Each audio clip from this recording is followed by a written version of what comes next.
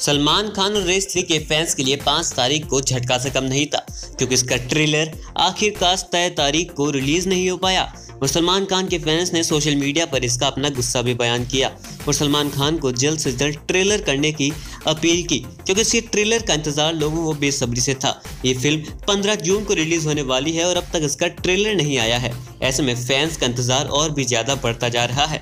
अब सलमान खान और बाकी टीम ने ट्रेलर में कुछ बदलाव करने की सोची ताकि ट्रेलर को थोड़ा और रोमांचित बनाया जा सके। अब इसकी नई तारीख सामने आई है। हालाँकि सलमान खान की टीम की तरफ़ अब तक तो कोई भी ऑफिशियल तारीख नहीं आई है, फिर भी कयास लगाए जा रहे हैं।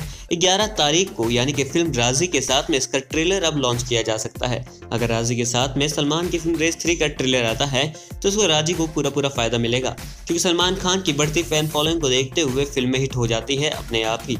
देखना होगा, रेस थ्री का ट्रेलर आखिरकार कब आता है क्योंकि इसकी रिलीज़ डेट अब पास में आती जा रही है, और तय समय के अनुसार अब तक इसका ट्रेलर आ जाना चाहिए था। कुछ तो लेट लतीफ़ी इस फ़िल्म में अब हो चुकी है, देखना होगा इस पर क्या फ़िल्म का असर पड़ता है।